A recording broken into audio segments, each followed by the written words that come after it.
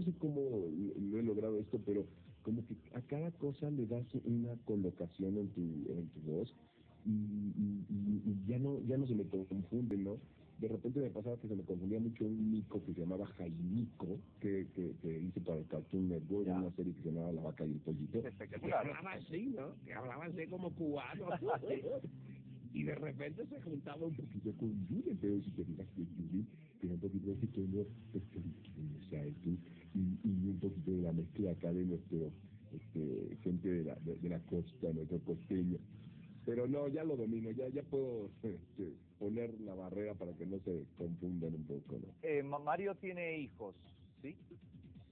No, fíjate que no, yo no tengo hijos y casi todo mi trabajo es curioso, dedicado a los niños. Bueno, pues aquí el niño sigo siendo yo. Bueno, perfecto, porque yo te iba a preguntar si es que ellos te piden eh, la historia de algunos doblajes, pero se dará el momento. Mario, de verdad, te voy a confesar algo. Me da flojera leer la cantidad de participaciones que has tenido en películas, en serie, porque son hojas de hojas de hojas que seguramente con el paso del tiempo van a irse eh, ampliando todavía, porque hablamos, entre otras cosas, para que la gente también matice un poco, La Pantera Rosa, doblajes de películas como Soy Leyenda de Will Smith, eh, Los Muppets, has participado en Los Ángeles de Charlie, en otras cosas. ¿Hay algo que te gustaría más o al cual tú apuntas más en tu tema actoral, en doblaje? ¿Prefieres, recibes o, no hay ningún problema? Sí, no, fíjate que definitivamente mi, mi, mi, fortaleza son las caracterizaciones. De repente este, la acción viva se me dificulta, es, no, no es fácil, es, es difícil darle voz a personajes como Will Smith, en como tú mencionas, Soy Leyenda, Yo Robot, Hitch. Eh, es difícil prestar mi voz a Clive Owen, que lo he hecho en, en, el Rey Arturo eh, y en otras películas de, de, acción viva, como a Iwan McGregor, que es Obi-Wan, o a este John C. Reilly.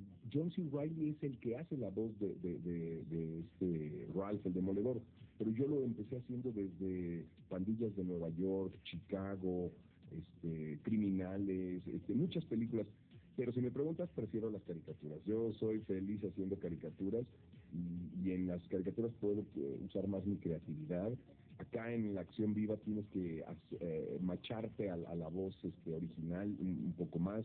Entonces es divertido porque ahí puedo crear como, como, como el niño que todos tenemos dentro y, y, y de repente no, no, no lo dejamos salir, ¿no?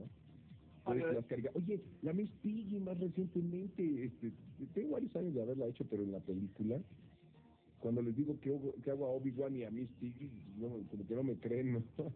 A ver, échate un poquito, por favor, Mario, de, mi, de Miss Piggy.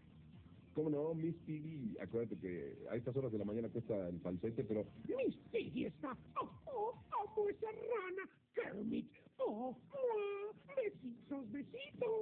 Oh, oh. Canta. Mario, de verdad, muchísimas gracias. No solamente hemos eh, confirmado el talento que hemos visto y que hemos escuchado en muchas eh, producciones que han llegado a Sudamérica, que van a seguir llegando, sino que hemos conocido la calidad de persona que es Mario Filio. De verdad, un abrazo enorme a él y a todos los personajes que han trabajado con él. Mario, desde Levántate Bolivia te mandamos un abrazo enorme y el agradecimiento por la deferencia de este contacto. Para mí es un placer, un abrazo, Priscila, muchachos, todos por allá, que estén bien y pues eh, para, para eso las redes se, se, han prestado ahora, así que ahí estaremos en contacto a través de las redes. Búsquenlo. Ahí Mario Filio en el Twitter y sería un placer estar compartiendo con todos nuestros amigos. Muchísimas gracias. Esto ha sido el contacto que tuvimos acá en el programa con un gran personaje del doblaje, de la locución y del trabajo en esto del cine y las series de televisión. Mario Filio estuvo con nosotros. Ricardo, entonces. 8 de la mañana con 13 minutos.